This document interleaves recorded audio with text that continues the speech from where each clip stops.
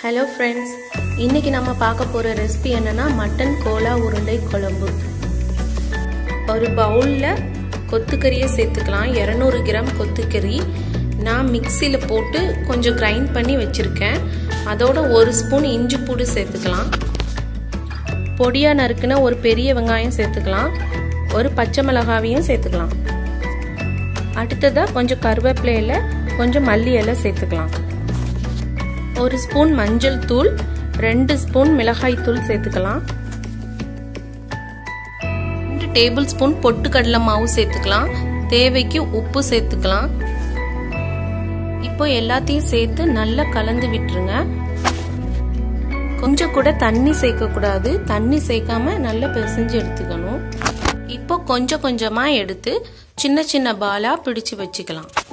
Deep fry செய்கிறதுக்கு நம்மளோட meet balls ரெடியாக இருக்குது எண்ணெயை நல்லா ஒரு பாத்திரத்தில் சேர்த்து நல்லா காய விடுங்க. எண்ணெய் நல்லா காஞ்சதும் மீடியம் ஹீட்டில் வச்சு மீட் பால்ஸை சேர்த்துடலாம். ஆயில் மீடியம் ஹீட்டில் தான் இருக்கணும். லோ ஹீட்டில் ஹை ஹீட்டில் வைக்கக்கூடாது. அப்படி வச்சோன்னா நம்மளோட மீட் பால்ஸ் வந்து உடைய சான்சஸ் இருக்குது ஸோ மீடியம் ஹீட்டில் வச்சு பொரிச்சிடுங்க. நல்லா பொரிஞ்சதும் நம்ம இன்னொரு பிளேட்க்கு மாற்றிடலாம் இப்போ பொறிச்சு எடுத்த கோலா உருண்டை ரெடியாக இருக்குது ஒரு பேனை காய வச்சு ரெண்டு டேபிள் ஸ்பூன் எண்ணெய் சேர்த்துக்கலாம். ஆயில் ஹீட் ஆனதும் ரெண்டு ஏலக்காய் ஒரு சின்ன துண்டு பட்டை சேர்த்துக்கலாம்.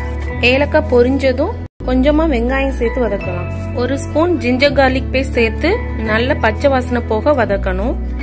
கொஞ்சமாக கருவேப்பிலையில் அப்புறம் நறுக்கி வச்சிருக்க ஒரு வெங்காயம் சேர்த்து நல்லா வதக்கிக்கலாம்.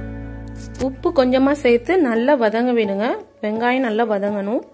வெங்காயம் வதங்கினதும் ஒரு தக்காளியை நல்லா பேஸ்ட்டாக அரைச்சி அதையும் ஆட் பண்ணி நல்லா வதக்கணும்.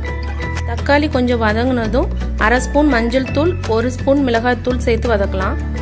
மூணு டேபிள் ஸ்பூன் மசாலா பொடி சேர்த்து எண்ணெயிலே நல்லா வதங்க விடுங்க. அப்புறம் தேவைக்கு கொஞ்சம் தண்ணி சேர்த்து நல்லா கலந்து விட்டுருங்க. கொழம்பு நல்லா கொதிக்க ஆரம்பிச்சதும் நம்மளோட மட்டன் கோலாவை சேர்த்துக்கலாம்.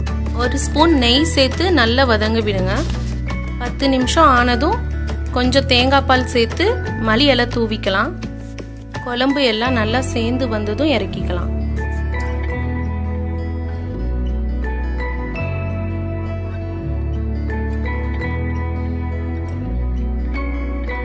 ரொம்ப டேஸ்டியான யம்மியான மட்டன் கோலா உருண்டை குழம்பு ரெடி. இந்த ரெசிபி இட்லி தோசை சப்பாத்தி ரைஸ் எதுக்கு வேணாலும் பெர்ஃபெக்ட் மேட்சாக இருக்கும். ட்ரை பண்ணி பார்த்துட்டு உங்களோட கமெண்ட்டை சொல்லுங்கள் இந்த வீடியோ உங்களுக்கு பிடிச்சிருந்தா லைக் பண்ணுங்கள் ஷேர் பண்ணுங்கள் சப்ஸ்கிரைப் பண்ணுங்கள் கூடவே வர பெல் பட்டனையும் ப்ரெஸ் பண்ணுங்கள்